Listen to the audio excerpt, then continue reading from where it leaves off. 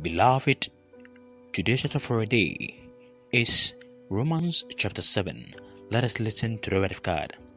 Or do you not know, brothers? For I'm speaking to those who know the law, that the law is binding on a person only as long as he lives. For a married woman is bound by law to her husband while he lives. But if her husband dies, she is released from the law of marriage.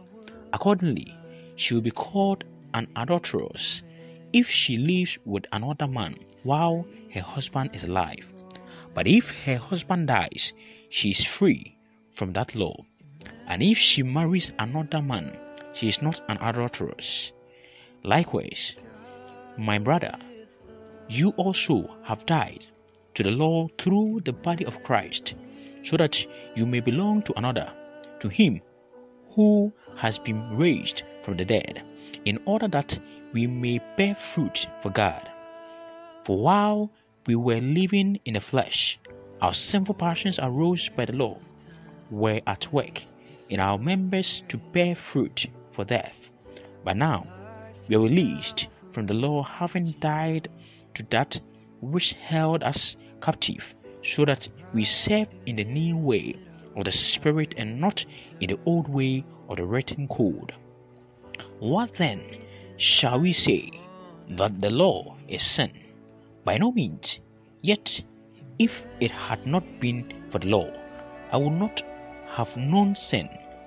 For I would not have known what it is to covet if the law had not said, You shall not covet. But sin, seizing an opportunity through the commandment, produced in me all kinds of covetousness. For apart from the law, sin lies dead. I was once alive apart from the law, but when the commandment came, sin came alive, and I died.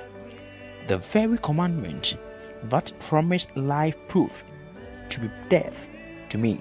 For sin, seizing an opportunity through the commandment, deceiving me, and through it killed me. So the law is holy, and the commandment is holy, and righteous and good. Did that which is good then bring death to me? By no means.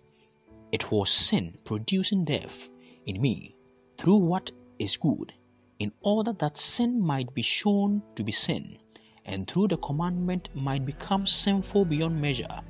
For we know that the law is spiritual, but I am of the flesh, sold under sin. For I do not understand my own actions, for I do not do what I want, but I do the very thing I hate. Now, if I do what I do not want, I agree with the law that it is good.